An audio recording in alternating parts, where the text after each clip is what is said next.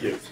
So I've got here um, the project with uh, all of the things worked out for exercise four, and I was just going to first address um, a couple of the points. Um, one of the questions that we got in email was uh, what was expected uh, in terms of describing the relationship between uh, the catchments and the stream links uh, as, uh, as calculated using the vector data set and also the catchment raster and the um, stream link raster.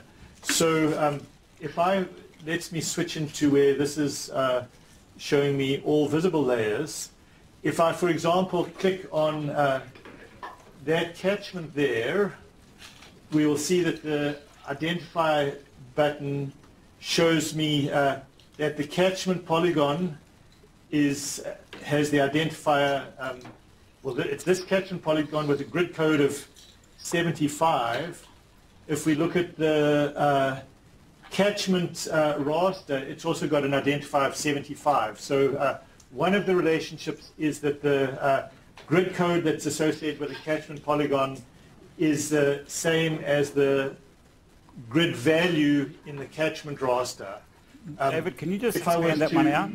Can you just expand the one out that you just pointed to, the catchment raster?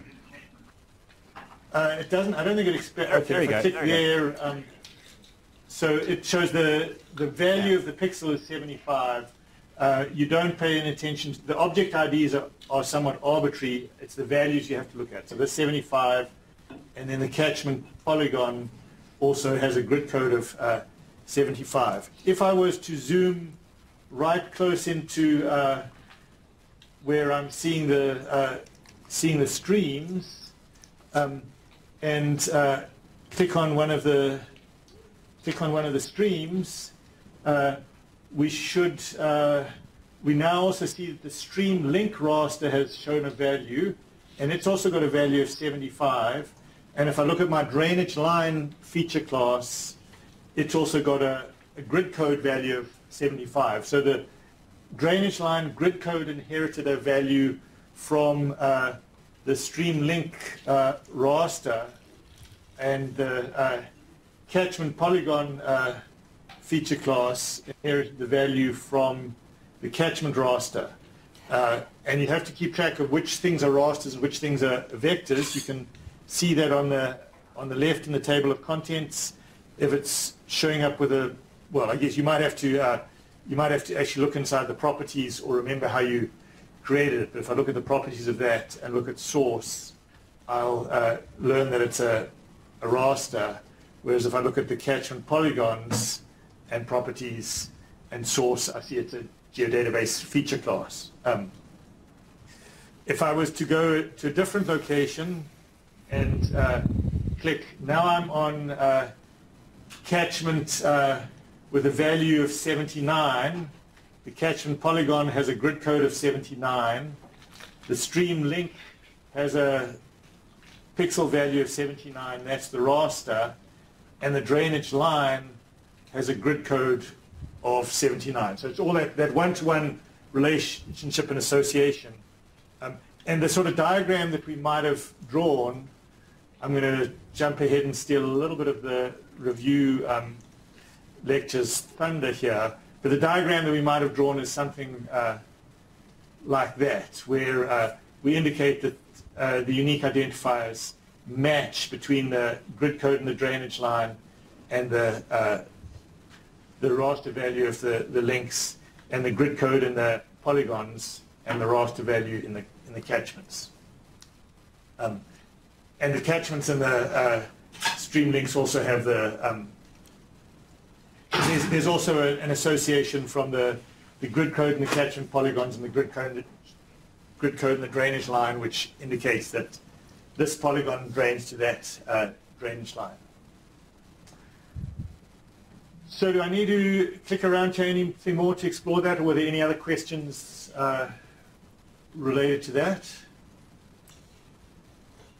That sounds like we're good here. We're good there. Okay. There was a Another question that was a little bit of a, a subtlety. Um, and that's the um, determination of length from uh, the NHD flow lines. So let me zoom back out to uh, the, um, the full extent of the map. Let me uh, add the NHD flow line. So this is, uh, this is from the shapefile that uh, we downloaded uh, from NHD Plus, and I've just, just added that.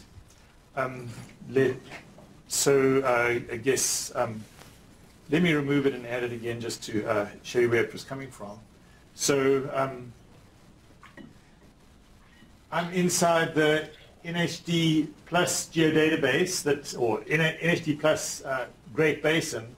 Uh, there's an NHD Plus 16 folder, the snapshot, the hydrography, the flowline shapefile.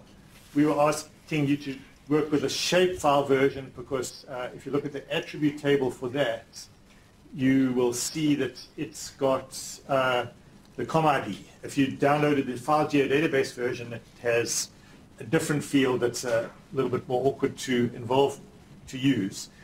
In terms of the length calculations, there's uh, one field here that's actually calculated by NHD, and that's uh, one quantity to use, but if that wasn't available and you needed to calculate length uh, using the GIS, you'd need to sort of pay attention to what I'll do next. So the first thing we had in the exercise, or one point in the exercise, was to basically select the um, select the features that we uh, we want and uh, and extract them. So I'm going to do the select by location and I'm going to pick from the NHD flow lines that are uh, have their center in the basin.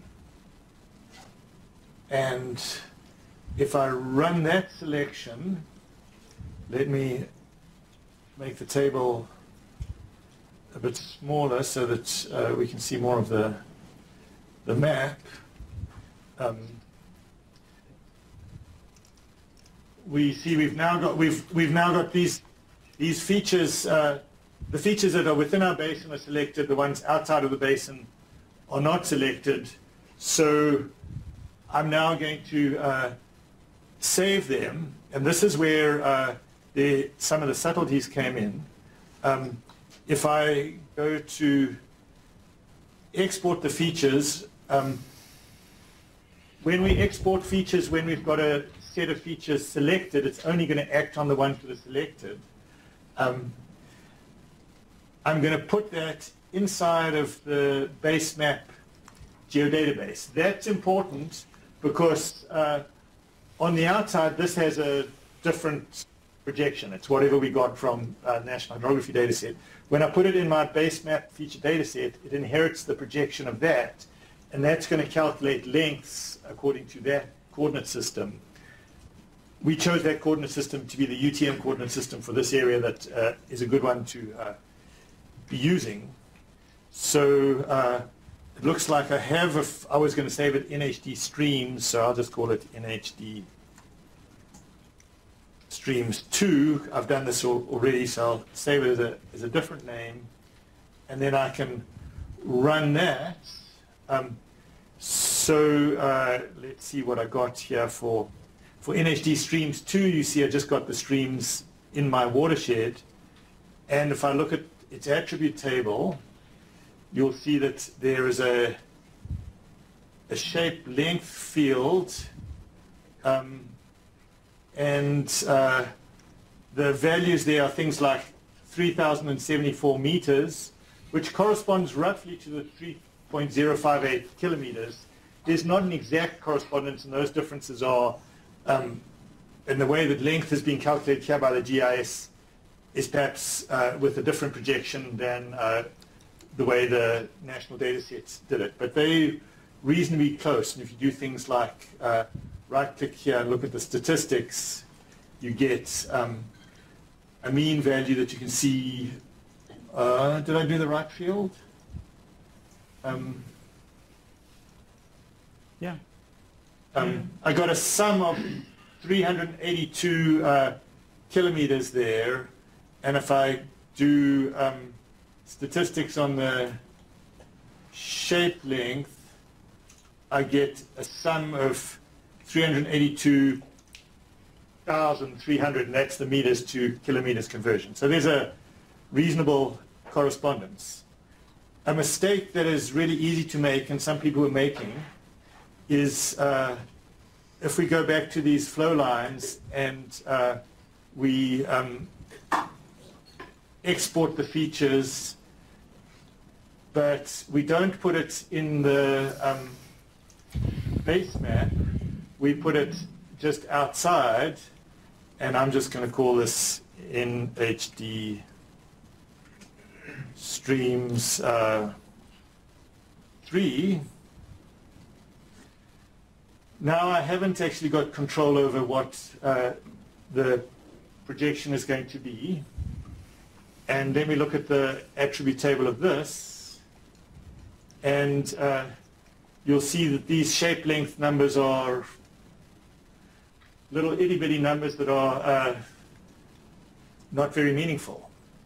Um, and that's actually, if you can look at the uh, properties of this, and you'll find that the coordinate system is given here GCS North American. So it's actually done the, it's done the calculation of length in degrees. So it's, it's measured degrees in the x direction, degrees in the y direction, and interpret that as length.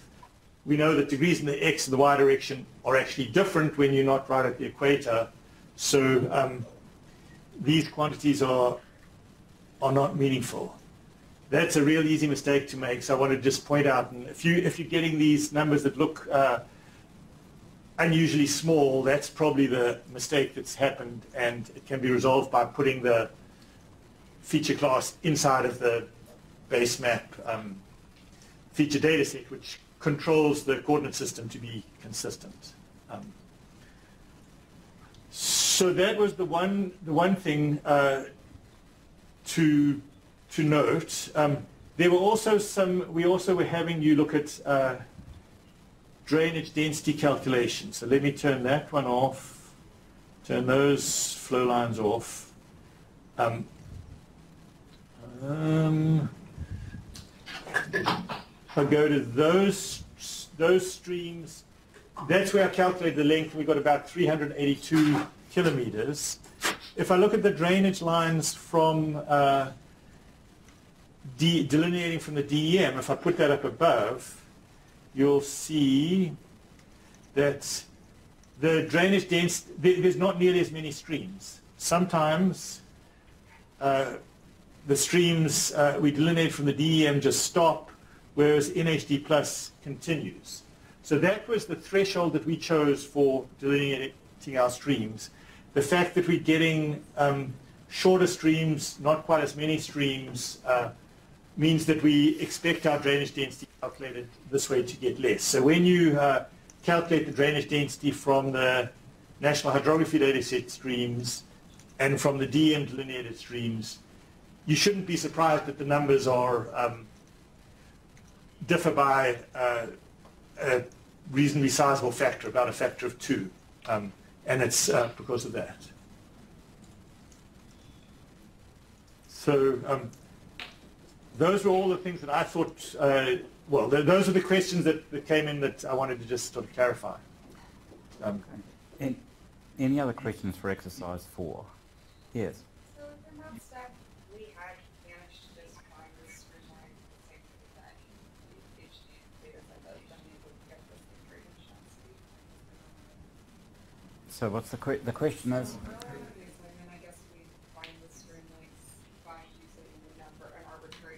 Uh-huh. If we chose the same arbitrary number as the second set we used, we would get the same So, so the question is, if you'd chosen this threshold drainage area that was the same as the brown lines here, I guess, um, the difference is that the NHD flow lines are the digital translation of what the original mappers did from aerial photographs.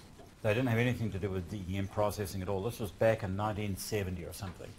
Uh, most of the topographic maps in the country were produced in the 1960s and 70s. That was when the peak of that effort was going on. So this was actually traced out from aerial photographs And whatever decision was made by the cartographer at that time is what you see there the blue lines. And the, you can even see sometimes and when you put these maps together on the state lines, you know, the streams suddenly get different density when you go across the state line. Well, hey, that's because somebody else did it on the other side of the state line. So there's, there is no such thing as a threshold drainage area for the brown lines. It was a completely different process that was used to create them.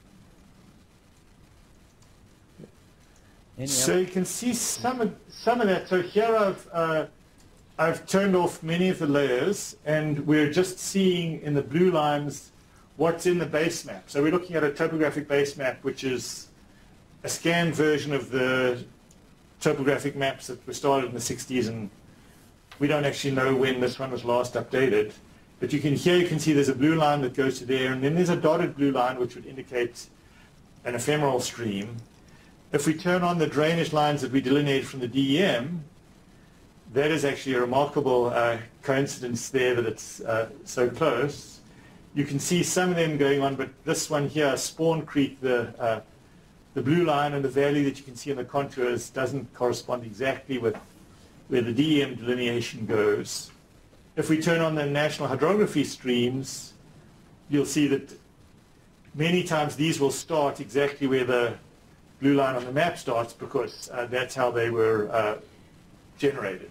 Um, they don't line up exactly, and that's because there's uh, been approximations uh, that have come into the, the digitization of him. So, uh, yes. so you can by by, by exploring around on these base maps, you can get an understanding of some of these different issues. So the um, there are two basic map scales that the digitization was done on. It was a 1 to 100,000 scale maps, which is what the NHD Plus uses, and then more detailed 1 to 24,000 scale maps, which was what the base topographic mapping system of the country uh, used. So those also have different numbers of streams. Generally, there's about three times the length in the uh, 1 to 24,000 scale maps as what there is in the 1 to 100,000 scale maps. 1 to 100,000 scale maps take 1 degree by 1 degree, and 1 to 24,000 scale maps take 1 16th of a degree by 1 16th of a degree. Um, so there's a distinction there also about how detailed the mapping was that was done uh, originally. Yes. so if we were to go there today, where would we find the stream? That's a really good question. So where would you find the stream? In North Carolina, they had this um, enterprising person who had a GPS on his back. Literally, they had a stream finder and he hacked his way through the brush and he fought with water moccasins and all this kind of stuff. Yeah, re- they had this whole thing about, you know, where is a stream? And, you know, where does a stream stop, become a permanent stream, and be an ephemeral stream? So if you really want to do it, yeah, you, you get to be one of these you know, water moccasin fighter kind of people, and, and you go there and you figure it out. Uh, that's really the only way to do it right, is to actually go there in the field and figure it out. Um, but, you know, not many places have the resources to do that. Paras? But then some of the streams which are very small, they may uh, die out eventually due to climate change or uh, maybe due to encroachment. Yeah, that's a good question. I don't know the answer to that question. So the question, Dr. Tarboton, is would the extent of the stream itself actually alter because of climate change?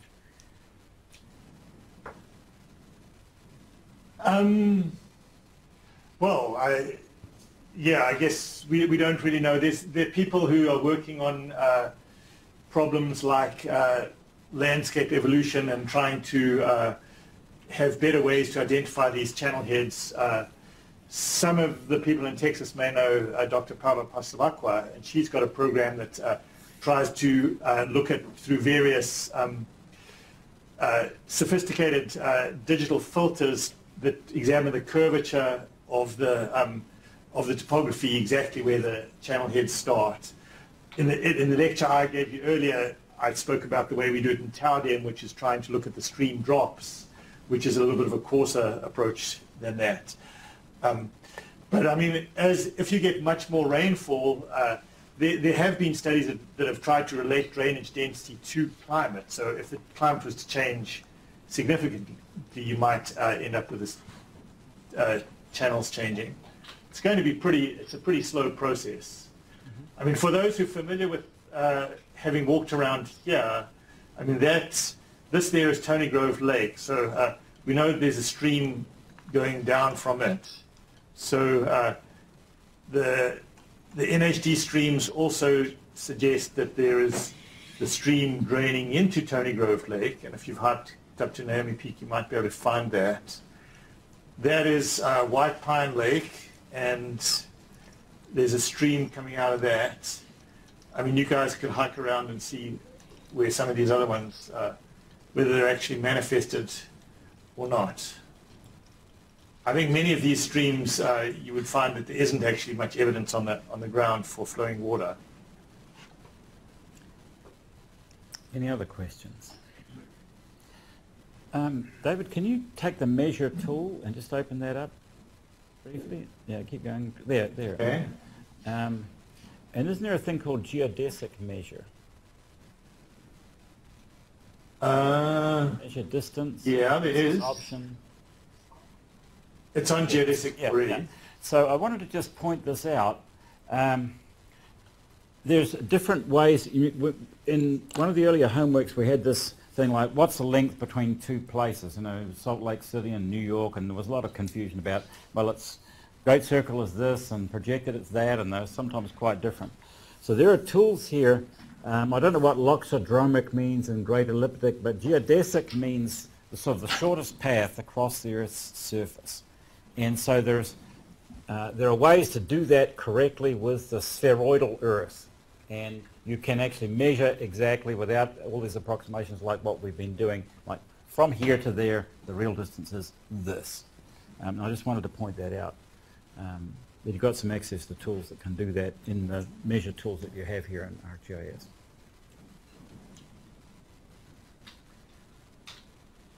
Any other thoughts? Okay. It seems like there was a question in email to do with exercise three. Do you remember? And slope. Do you remember what the question Uh, was? so this, yeah, so the, the, Oh yes. Go, go on, you want to go take it, take it out? go frame the question while I think I'm going to look for where the um, pull up the exercise. Uh-huh.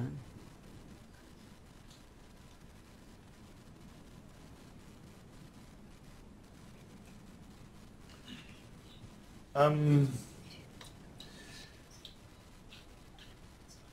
so I think the question might have been why was uh, when we did the hand calculations at point A, did we get a, a larger value for um, the slope using the Esri method than if we calculated with a slope using the um, the the D8 or the uh, D infinity methods. Was that basically it? That's right, yeah. So you got um, about 4% slope for the D8 and D infinity and about 10 or 11% for the Esri method on point A, for example. Is there a place I can get? Did you put the link to the solution on your website? Yes, I do. Um, so if you Okay, go to my website and, You go and pull that up. yeah, so if you go to exercise three, three, three, three, right at the end, there we go, EX3 solution.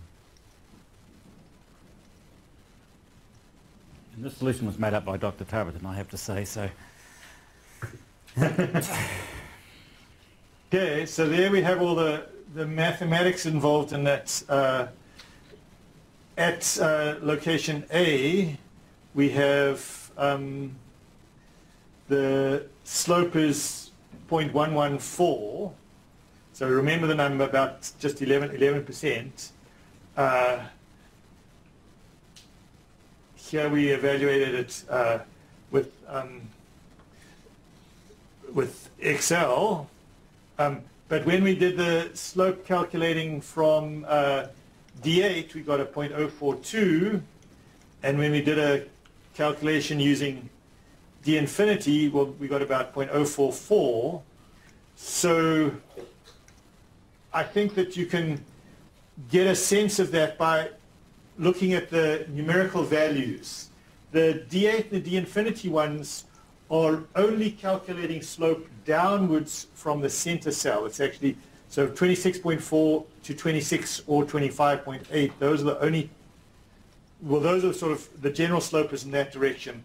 And it's about 0.4 units across the, across the 10 meters. The um, Esri slope is using all of these nine grid cells uh, around here that include these high ones, the 28.6, the 27.9, that are about uh, two units bigger than the, the middle value. So there's quite a steep slope from there down to this one, and then a flatter slope from there. And so when you average the sort of steep area and the flat area, you get an average slope that's, that's steeper. So the, the Esri approach uses the higher ground as well, or at least the, the slope, the, the standard slope function uses the higher ground. The D8 method and the D-infinity method, which are really designed for where water is going to flow, uh, only use the lower grid cells. So I think that explains that difference, and you, so then you get to debating, okay, which ones are, are better and what the purposes are. And I think that uh, using the standard slope function is probably best where you're doing things like uh, the slope for a radiation calculation or for um, some sort of other general calculation where you might need slope. But if you're specifically interested in where the water is going to go, the higher terrain is less relevant. It's only going to go downhill. Paras, you have another question? You almost answered, but which one is close to reality in the actual sense, the slope? So the question is really which is closer to reality. And I, would like to respond to that in a somewhat different way. When I wrote that original um, handout about slope, it was to draw the distinction between the slope as the derivative of a surface and the slope as the, the slope of a line between two points. Now the D8 slope direction is literally the slope of a line between two points. And the other version, the Esri's tool, is the derivative of a surface, right? It's a fundamentally different thing.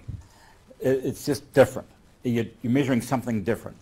And the, D infinity solution is a somewhat a bit of a compromise between the two, right? It's taking several points into account and it's calculating a slope that's not exactly along um, between two points, but could be intermediate between them.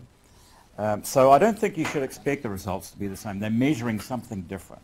Now, David, could you go down to the, the summary table that you've got below about the uh, results of the different approaches on the demo.asc um, uh, results. If you come down, uh, no, this one? No, keep going.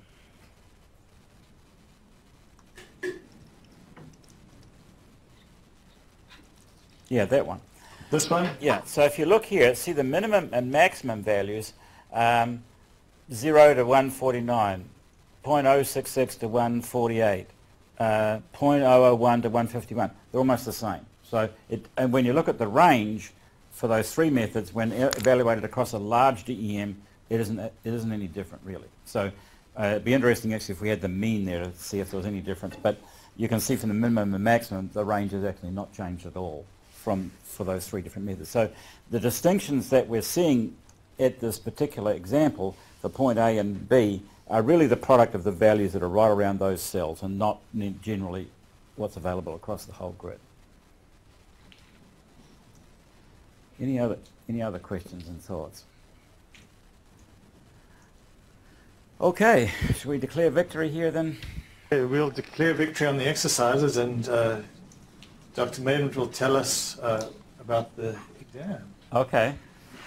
Well, I've declared I'll stop sharing. too. I've managed to do all the grading, which I have to say was a fairly major occupation of mine for the last uh, couple of weeks. Um,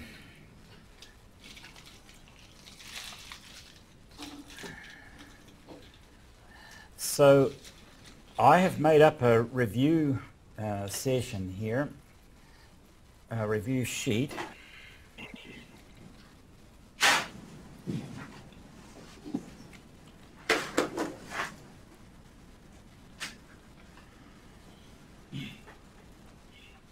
and a set of review slides. I don't think we're going to have time to go through all these slides, but you can read through them yourself anyway.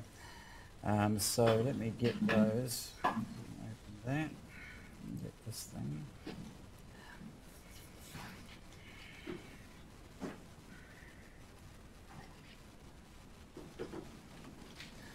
Okay, so I've made up this review sheet and I've used here the um, Bloom's taxonomy of educational objectives. Now I know you're all familiar with Bloom's taxonomy, right? Yes, absolutely. Who's familiar with Bloom's taxonomy? Okay, cool. better known than it used to be. I started doing this actually at the very beginning of my academic career. My wife has a degree in science education and she was the one that taught me about Bloom's taxonomy. Now it's much more widely used. Um, but it was. Can you can you minimise the little thing that's uh, made the black sorry, box? That bad person there, yeah. Um, and just to um, summarise the idea here, uh, Bloom's taxonomy builds this hierarchy of knowledge, starting with basic facts like Austin is the capital of Texas. Comprehension, what does that mean? Well, the legislature meets here, etc., etc. So we're going to have a few questions here, define and explain questions, define some concept and explain what it means, or draw a diagram or something like that. Those are going to be level 1, 2 type knowledge, just with words and pictures. Define and explain. The next level, application, means calculate a formula, like convert degrees, minutes and seconds into decimal degrees. That's an example of a level 3. Level 4, analysis means break a problem into parts and solve it sequentially like what we're doing with this drainage densities and other things, where you've got to have, or average precipitation, you've got a series of pieces that have to be put together. This exam only covers levels one through four. There's nothing here about synthesis and about evaluation. Where are you going to do synthesis in this course? The term project. The term project is level five. Uh, where are you going to do evaluation? Advantages and limitations of alternative approaches the final exam. Okay, so the final exam is level six. You'll find there's lots of comparisons about how should we do things in alternative ways and so on. That's when you're supposed to be able to bring everything together and synthesize and figure out the whole thing. Synthesis means creating new knowledge, and that's what you're doing in your term project. So the midterm exam is only these level one through four uh, type um, questions. So we're going to start with the application analysis problems, which will be the main part of the exam and fill in the gaps between the subjects that those don't cover with application define and explain questions that examine things at the bottom end here. So with that explanation, let's go back to this sheet. So I have classified all of the lecture materials that we've been through according to this scheme. So you can see which lectures we expect you to know things with application and um, analysis level understanding and which ones it's just like just understand the concept here. Don't, don't worry about doing a lot of calculations. We've also got here listed a set of skills that we expect you to have mastered by this point. So I won't go through all these um, one by one, but you can go through them yourself. And we've attempted to reinforce these skills with the exercises that we've given you by the computer and also the ones that we, have asked you to do uh, for, uh, by hand. And then at the end here, I've also listed the lectures. If you want to go back and watch any particular lectures again, you can do that. Uh, and also the reading materials that we've given you at various points to supply additional background material about map projections and coordinate systems and spatial, uh, analysis, um, slope and aspect, and so on. Uh, there's a, oh, and some stuff about the hydrology tools. Um, there's some guidance here about what you can do uh, in the exam. You can bring a, a cheat sheet, 8.5 by 11 sheet. You can write anything on it that you want. It can be on both sides. It can be microscopic. You, know, you can have something that you have to have a you know, magnifying glass to read.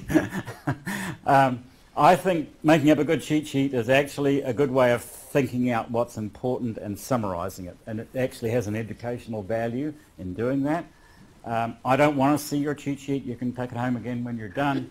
Uh, but don't, you know, get all exercised about I'm going to forget this formula or I'm going to do something. You can put it on your cheat sheet. Um, you have to have a calculator. And you have to know how to use a calculator. No computer here. So you have to be able to use a calculator. And I know this is getting to be kind of an arcane skill now, but um, it's one of the realities of doing in-class exams. And I like nice diagrams. So please, if bring a straight edge so that you can draw nice square boxes if that's what you're called on to do. Um, so no books in the exam, but you can have a cheat sheet. Um, but you have to have a calculator and be able to work with a calculator, know, you know how to do cosine on my, my calculator and that kind of thing. So this is just a general review here. Are there any questions about um, about the Bloom's taxonomy and this kind of stuff? Dr. Tarboton, anything you want to add? Uh, no. Any questions you guys have?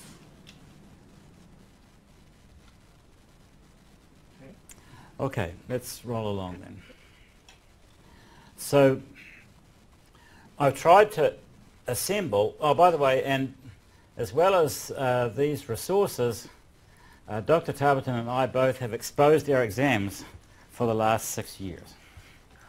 So in my work spreadsheet, so every exam that we've given for the last six years is here, so you can take a look at the exam and go, oh my gosh, I'm crazy, I don't know what the National Elevation Data Set's all about.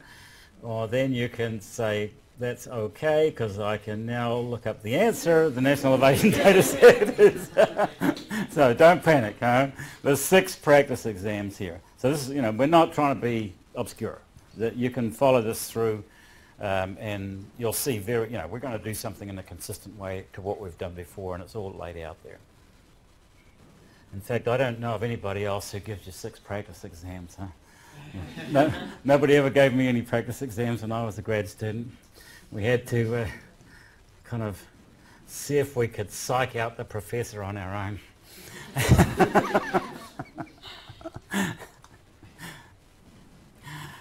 Okay, so I divided this review into four parts using ArcGIS for water resources, location and measurement on the Earth, spatial analysis, and hydrologic analysis. And those roughly correspond to um, the first four exercises that we've had in the, uh, in the course.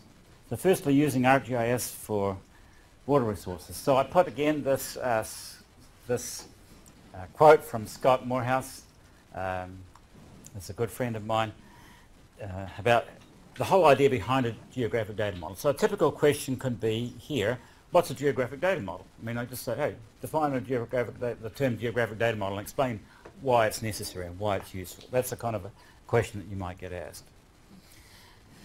Um, the, the idea in GIS that every feature has associated with it a record. This is true for which kind of data, vector or raster data? It's vector. Yeah, this is true for vector data. For raster data, every cell value, every cell has a value, but there's not necessarily an associated record in a, in a data table that contains that value, but it's true for vector data, for points, lines, and areas. Um, we've talked, and Dr. Tarboton was just uh, explaining the significance of the terms geodatabase, uh, which is a general container for geospatial data sets, and feature data set, which is a container for feature classes or vector data sets with a common coordinate system. Um, a feature class is something that goes, it's a point line or area coverage. I expect you to know what these concepts mean. What's a geodatabase? What's a raster? What's a table? You know, how does a table differ from a feature class? So let me ask that question. How does a table differ from a feature class?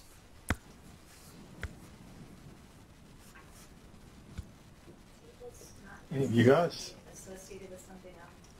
Okay, so the table is not necessarily associated with something on the map. A table can just be a table.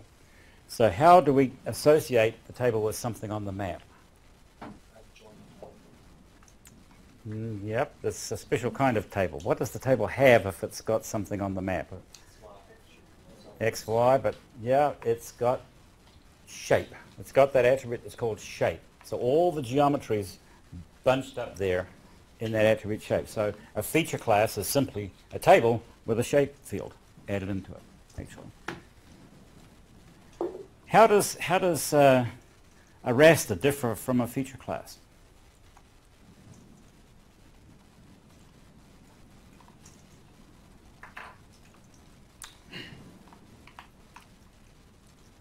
Don't all speak at once.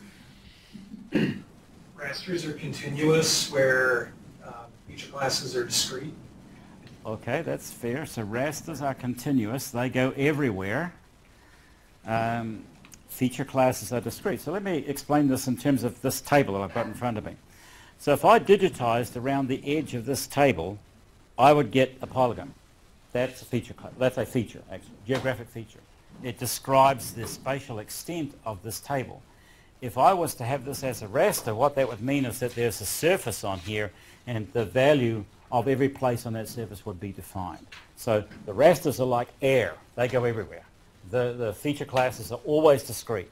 It's always, I'm either here or I'm not here. I'm either a point, I'm a line, I'm an area, but they're discrete spatial features that describe things in the spatial domain, but they're not necessarily in existence everywhere. They could be um, existing or not. Is that clearer or not? So features are always points, lines and areas obtained for lines and areas by joining points together. Rasters are always surfaces, always continuous functions. But there, so you can see there's some good define and explain questions in there, right? What's, what's raster? What's vector? What's the difference between a feature class and a raster? Think those out. Make sure you've got that clear in your mind. What's the difference between a feature data set and a geodatabase? Um, Dr. Tarboton mentioned the significance of this, the idea of relationships and database keys, really fundamental to the concept of the linking of raster and vector data is the idea that the value in a raster becomes the grid code in a feature that's associated with that. That's what connects the uh, two sets of products from the exercise that you've just completed now. Uh, another example of where the feature codes and um, summarization using features is important is in the exercise 3 that I just finished grading and you're calculating the um, average areas or the average rainfall over areas by the Thiessen method uh, and you've got sums of products, for example this function uh, that gets average area precipitation is computed that way. Uh, one of the concepts we've spent a lot of time on is about visualization and map symbology. How do you understand, how do you see uh, map information? With, um, along with geoprocessing and the database. Visualization, geoprocessing, the database. Those are the three biggies. You know, you've got catalog, ArcMap, and the toolbox. Uh, we've gone through, and Dr. Tarboton has taught you in a very excellent way uh, how to do geoprocessing with a toolbox and using Model Builder to execute modeling functions. It's really a marvelous uh, uh, function. Actually was a, a, landscape architect who figured out this. I remember that this was kind of a, like a subterranean project at, at. Well, I won't tell you the story. Scott Morehouse tried to kill it at one point, but uh, it managed to survive. Um, these are the basic data sets that we've used in working with the NHD Plus data set, and of those, the National Elevation data set and hydrography data set are really fundamental. And so I want you to be sure that you can explain, you know where those things come from, what the relationship is between them. Um, you've seen this chart about the National Water Model several times. Uh, one of the things that I spoke with some passion about yesterday was how, with the National Water Model, we've succeeded in putting water right into the GIS. I remember the first time that I, Jack Dangermond saw this uh, simulation. We did it at the White House, so I don't know, a couple of years ago, when Obama was still president. And, uh, uh, and he was in Washington, and he saw this map, and he just went crazy. And I, I, have never seen him so happy in my whole life. I've, I've known him for more than 20 years. And it happened that I was in Washington as well. So I started getting all these messages from his office. Call me, call me, call me. Oh, oh, okay, Jack, okay. Anyway, we, I went over to the Capitol. He was there having a reception. And just said, this is so fantastic. And for him as a technology leader as he is, when he saw the National Water Model, suddenly something that he had had in his mind for years was realized. And that was that the water was inside the GIS. This wasn't, you know, GIS being used as a pre-processing routine for some hydrology model or something like that. This was a fundamental change, a fundamental difference in the connection between the two subjects. And then we've had, at the end of um, exercise two, I asked you to do some calculations with the National Water Model Forecast Viewer uh, that's enabling you to get particular flow charts for particular locations, which I think is really cool actually to be able to follow the flood like we did on the Llano River a couple of days ago. Next location and measurement on the Earth. There's lots of hand-done homeworks that you've had uh, to relate to that, um, typical question, uh, for example, draw a diagram that shows how to define latitude. So I would give you the oval and say, hey, define, draw a diagram and explain how you define latitude on that. Or same thing for longitude. How do you define longitude? So draw a diagram and explain how you, how you define longitude. Uh, here's an example from one of the quizzes. Define, define the term latitude and illustrate your definition using a diagram. Define the term longitude, illustrate your definition using a diagram. Um, and here's my answers for how to do that. So I've drawn these diagrams and I, I write in pencil, by the way. most people write in pencil on exams. So if you do ink, it's harder to grade exams that are done in ink, frankly, because I'm grading in ink. And ink, you know, but anyway, if you want to use ink, I guess you can. Um, I like pencil because you can erase things. You can see a few erasures there and kind of get things right. Um, questions on geographic coordinates. So uh, really an old um, favourite is to calculate the latitude and longitude in decimal degrees for points that are given uh, in degrees, minutes and seconds, and then to calculate the distance between them, assuming a spherical Earth with radius um, 6371 kilometres. Now, given the degree of complication of the, of the Great Circle route, we're not going to ask you to do that calculation on a calculator. Right? That's, a, that's an Excel level calculation. So in this case, you see here that the longitudes are the same. So this calculating the distance is basically just calculating the distance along a, long, um, a um, meridian of longitude.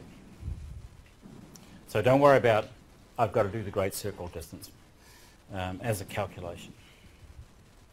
And here's an example, here's the solution for that problem. Always work with, or be careful that you're working with radians. Uh, degrees are fine for numbers to tell you where you are, but radians are the true root measure of uh, angle as a fundamental measure. Uh, this is the formula for lengths on meridians and parallels. Think we've been through this a number of times now. Along meridians, it's always the same. This arc is r times the angle subtended. Along a parallel, it becomes different because the radius that's subtended becomes smaller as you come towards the poles. Uh, and there's some questions here from one of the exams about how to calculate how tall a Texas is from the top to the bottom. From A to B, you know, how tall is Texas? Well, pretty tall, 528 miles actually. That's a tall This is some material that I just inserted this morning because of the some issues that came up that I saw when I graded uh, homework number two, I guess. Well, no, homework number one, the, the, the handwritten one. So you were given this set of parameters for the projection, uh, the Albers projection, and asked to uh, draw, take a map and put the key parameters on it. And uh, one thing that quite a lot of people made a mistake on was that they didn't understand the existence or the significance of these terms that say false easting and false northing. They're important. So in the projected coordinate system, in this particular case, the x0, y0 is 0, 0, and the phi, phi 0, lambda 0 is 23 north and 96 degrees west.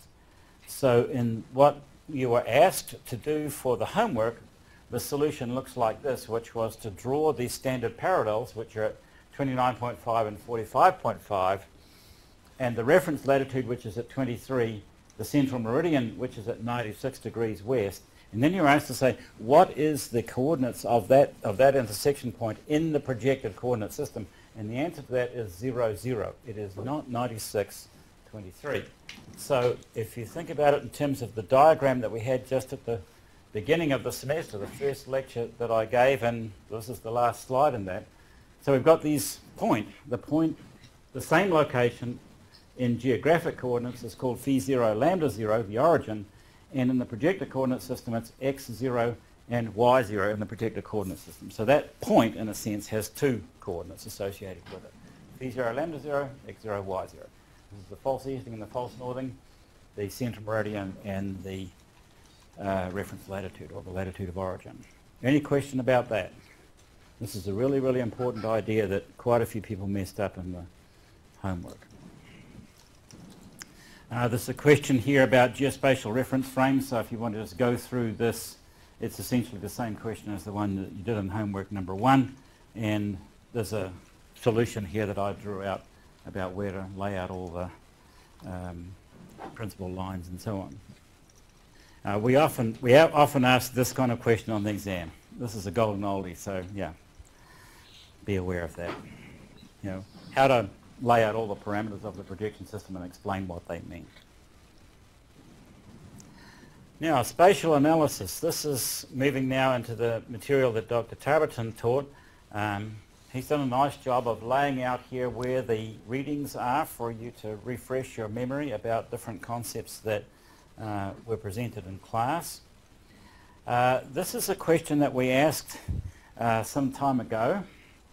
Uh, and it shows the land cover distribution of Travis County in 2006 and then you're asked to figure out how much of that of Travis County was developed in 2006. In other words, um, it's a pretty straightforward calculation where you can figure out the total number of cells and the cells that are in the developed area and take the ratio of the two quantities and you get a certain percentage. Uh, this is similar to what you did in uh, exercise number two. Um, this is a more complicated question which deals with the same kind of information but with a time step involved. So here there's a land cover lookup table like what you were working with in exercise 2 and here's what the land cover of Travis County was in 2001 and here's what the land cover of Tra Travis County was in 2011 and so you're asked here to calculate the area of the land cover class in 2001 and 2011 and then what the difference between them is and therefore what the rate of increase of the developed area is per year in Travis County. And there's actually an interesting uh, conclusion that comes out of that. Uh, so if you go through this and add up all the developed areas and go through the calculations, uh, what you find is that you've got uh, in 2001, about 25% of Travis County was developed, and in 2011, about 29% uh, of Travis County was developed. So, in other words, it increased by 4% in developed area over a 10-year period. So there's always a lot of talk about, you know, how development, how fast development is happening. Well, this is a nice numerical way of thinking out know, just how fast development is happening. So 2% of Travis County gets developed every five years, converted into impervious areas and so on. Uh, slope and aspect. Um, we went through this discussion just earlier about the idea that there's a point-to-point slope like hydrologic slope. Just I'm just going between two locations. Uh, and you've also got this concept of a, a slope as the derivative of a surface. Now as I was going through this, I got a little bit I started thinking about this myself, and I started saying, you know, do I really do I really understand this? So we've got um, a plus 2d plus g, so that's a plus 2d plus g, minus c plus 2f plus i, so that's something along here, divided by 8 delta.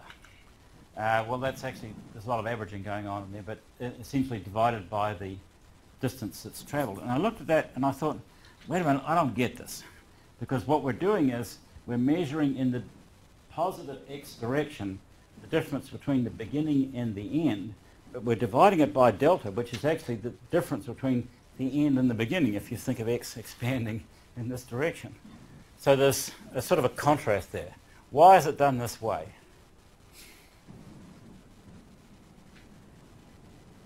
You would normally think of, you know, at the end minus the beginning over at the end minus the beginning. That's the usual way we do slopes, right? But we're doing it a little bit different here. This is switch.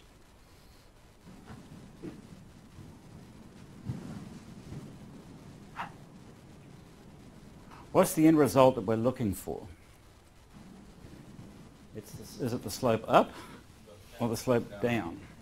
It's the slope down. So we're looking for the thing that goes down. In other words, by definition, when we talk about a positive slope, it means a slope that's going down.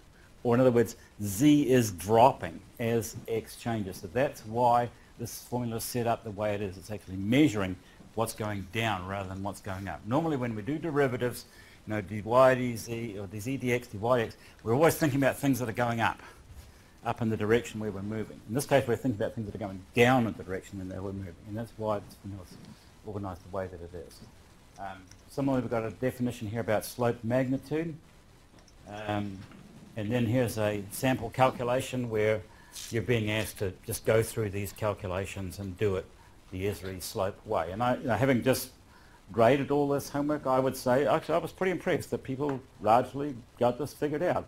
It's a pretty confusing subject, but I was uh, um, appropriately impressed by the fact that you managed to work this out.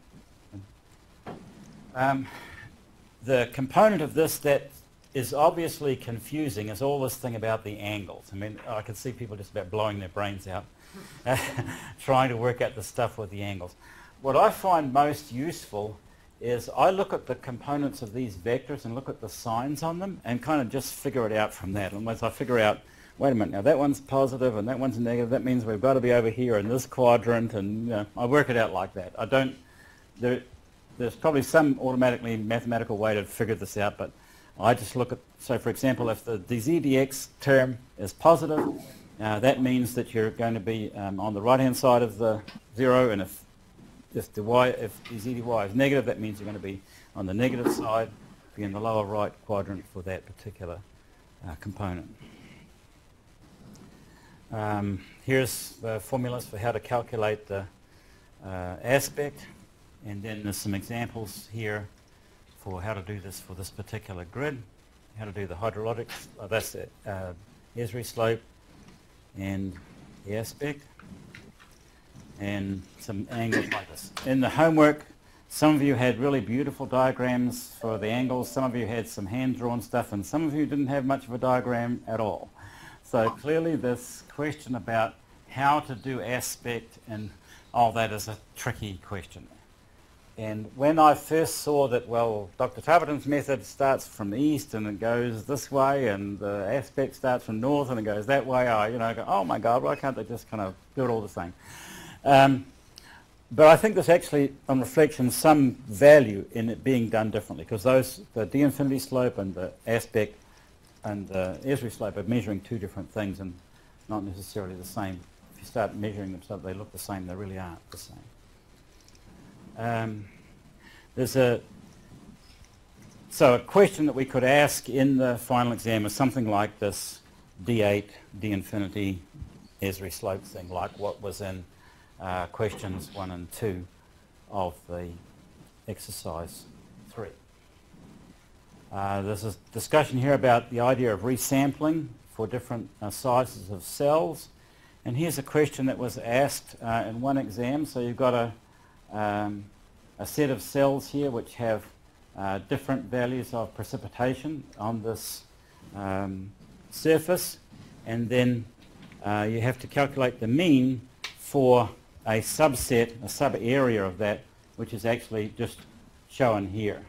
And so you have to go through a calculation and figure out, oh, I've got a more resolved set of cells that covers a sub-area of this and I've got to calculate the average over those cells and not over the other ones and you have to deal with the different sizes of cells in doing that. And there's some examples of how to work that out here. Um, a similar thing for the calculation of the average precipitation over, uh, over a watershed.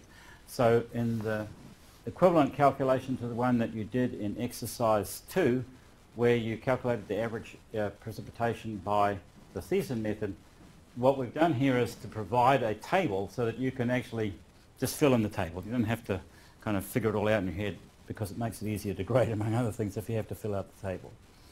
And so using the relationships, as Dr. Tarboton was describing earlier, you can uh, build up the analysis and fill out the different requirements here and get the uh, average precipitation.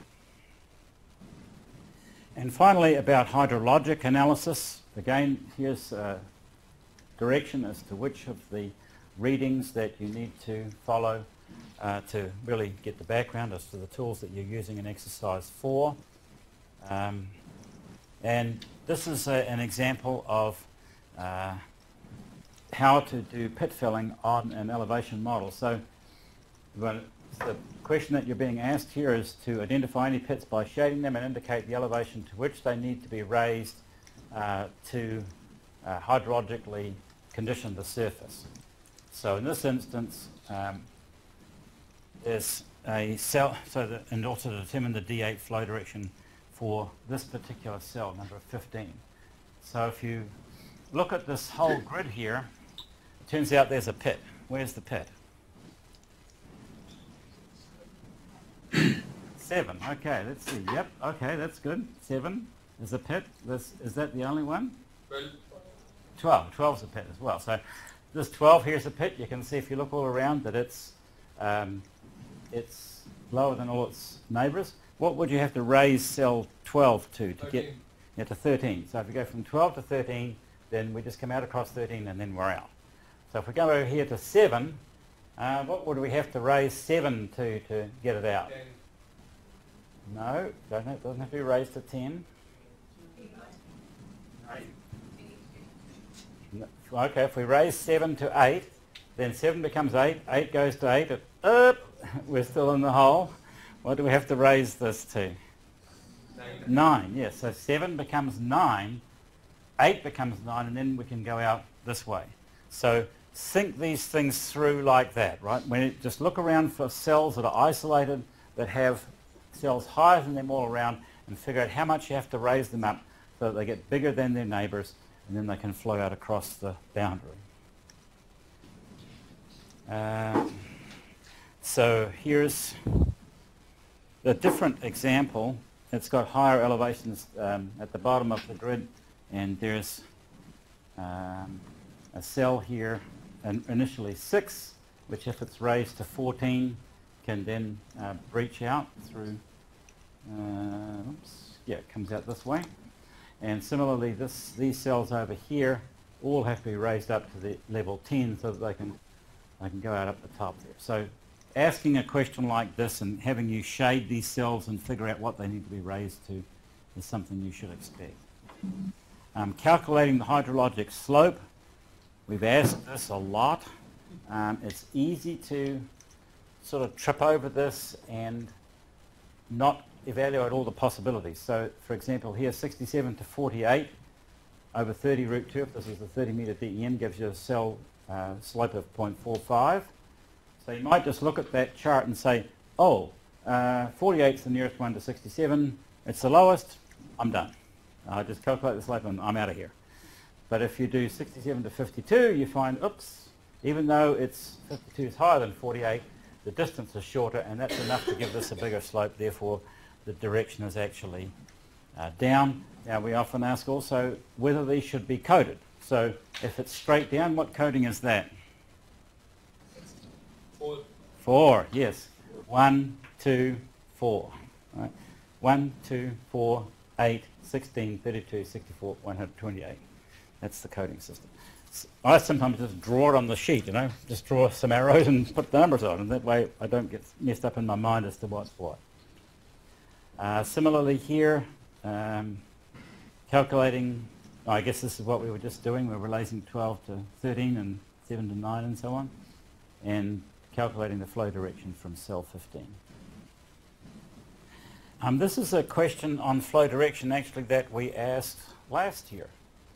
Um, so what you're asked to do here is to calculate the D8 flow directions of each of these cells and then to indicate the numerical value in this box here. So in other words, you're asked to take this set of cells here, the bigger set, don't worry about the ones um, on the outer edge because they go outside. Just worry about the ones that are inside the big box here and then um, calculate the, uh, the flow directions here. So this is my answer that I worked out um, as a solution for this exam. And here I've just drawn this little uh, diagram to remind myself about the numbers in different directions. And so what I did was to start off um, with cell number 9. So if I look at 9, well, let's see, 9 to 11, 9 to 9, 9 to 10, all of those are out. Has to be 9 to 8, just by definition, because that's the only one where it's got an adjacent neighbour that's lower. So you can just say right away, uh, 9 goes to 8 and, and you're done. Um, that's in this vertical direction, 64. So where have I got that? Uh, I don't see it there. Anyway, uh, then uh, On the right. I'm sorry? You've got it on the right. Uh, you've got 64 labeled. You're wondering where you had the 64 label. that's on the, on the square on the right. Okay, I'm sorry. Anyway, let me keep going here. So, uh, so okay, 9 to 8 by inspection, so I've just, I've just got that worked out. Number 2, 10 to 9 by inspection. So here 10, the 10 could go to 11, 14, 12, blah, blah, blah, whoops, by inspection. And uh, so it has to go, uh, 10 has to go to 9. So by definition, it's just straight up. Then I've got um, number 3, 11. Now 11 could go to 9, which is this way. Um, 11 could also go uh, to 8, which on the diagonal there. So I've evaluated both of those solutions and found that 11 goes to 8 is actually the better solution because even though um, it's a longer path, the slope is 0.085 compared to 0.08. That's a 32 slope. And similarly, 13 here can go anywhere. It could go to 10, it could go to 9. So here I've evaluated two solutions. One 13 goes to 10 and one 13 goes to 9 and picked one for the average slope. So in this case you asked for four flow directions, two of which are obvious just by inspection and two of which you've got to do a calculation to figure out. And the way to go wrong on this kind of question is to not realize that there's an alternative and to just choose the obvious one without um, doing the check for the maximum slope. Um, this is a variant on the same question where the flow directions are already given and then you're asked to define where is the drainage area that originates from that particular point, the one that was circled. And so we've gone through the idea that associated with the flow direction is this implied grid called the flow accumulation and you have to add up the number of cells that flow into a given cell and calculate that number and this is the Esri flow direction uh, system. If you have a threshold drainage area you can define from that a stream which you're doing now in your homework and from that you can define the watershed that drains to that point. and you can do that for very large areas um, as you've just been doing. So in this particular instance, if you look at this um, outlet cell here and then think about all the cells that flow into that, uh, you can then uh, calculate which way you can define which uh, was the drainage area uh, for that cell and then you can calculate the flow accumulation. So being able to identify what the cells are and what the flow accumulation is is important Notice that these cells at the top here, 0, 0, 0, these are ones that have nothing flowing into them. This one is a 0 because there's nothing flowing into them. This one looks like it should be a 0 too because it's right on the edge, but it's got that one flowing into it. So this one has a flow accumulation of 1. And here we've got 2 because we've got 1 coming in and then another one becomes 2. Here we've got 5 because we've got 2 coming in uh, this way. We've got uh, 1 coming in from up above and this one, that's 4. And uh, we've got one, two, three here. So this one has five flow accumulation. So it's a bit confusing to actually get these numbers straight. And one of the things that you can do as a check at the end is to find out how many cells you've got total. So in this way it's 2, four, six, uh, and 5 is 11. And that means a flow accumulation of 10 at the outlet because you don't count the one that you're in. So you can check that you get the right total at the end just by doing that kind of a number. And it was that area, if you remember I showed before, that was used in that calculation of the average precipitation uh, to get the uh, precipitation over that drainage area. Um, and there's, yeah. So I guess there's a, there's a question at the bottom here that says, uh, draw on your diagram the stream that would be defined with a flow accumulation threshold of 4 square kilometres. So I've drawn this line here, so it says center to center to center, whoops, um, which is all the cells that have more than four flow accumulations into them. So the length of that is 2, and there's a total area here, including the cell at the outlet, of 11, so the drainage area here is 2 over 11. So this is sort of a simple version of the geomorphology parameters about drain network density that uh, Dr. Tarboton was just discussing. So, uh, yeah, here's some rules that I went over at the beginning. Uh, and, uh, yeah, I've, I've already reviewed that. Are there any questions that you have? Yes. Um, for the timing of the exam, since the class is technically scheduled like twelve thirty to two, Uh-huh. do you have that period of time, or is it gonna be since we usually get out at 1.45? Okay, so the, the timing on the exam will be 75 minutes. That's 12.30 to 1.45. So, you know, you're going to find me five minutes from the end saying, you know, summarize those last golden thoughts. And if tomorrow you die, what are you going to say?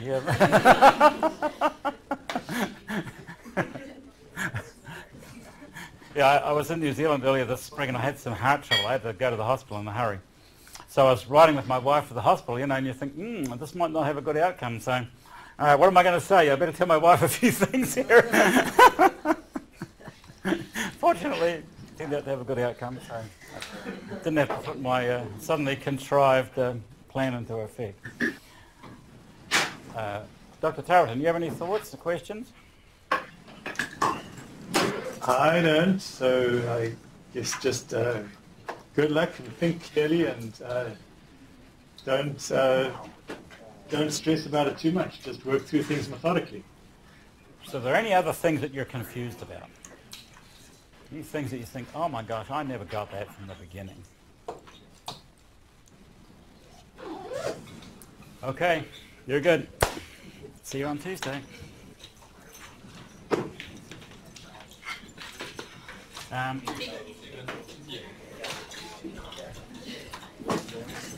we've got here a person from the city of Houston, Houston Recovery.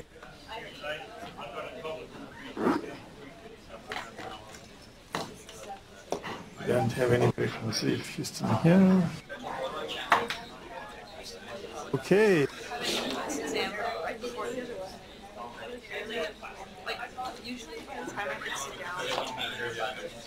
Yeah.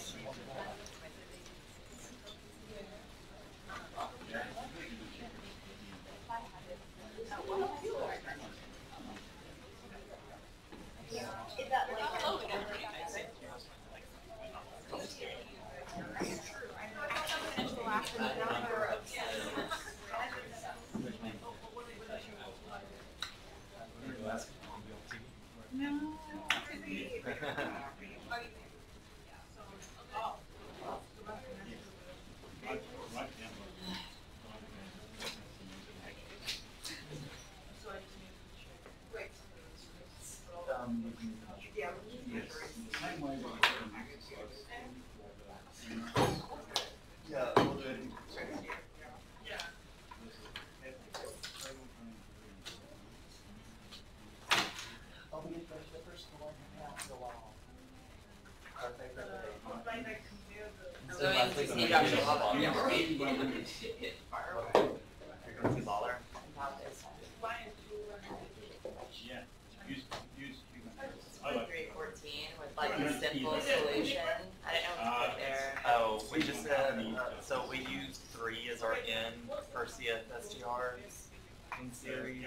from the, from,